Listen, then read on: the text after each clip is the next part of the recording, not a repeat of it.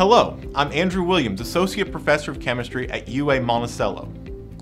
I believe that the new Principles of Chemistry and Physics will serve as a K-12 capstone course helping Arkansas students to have access to a broad scope of scientific knowledge.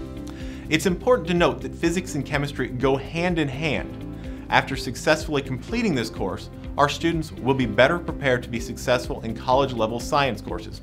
But all students, whether going to college or into the workforce, need knowledge of the chemical and physical basis of our world.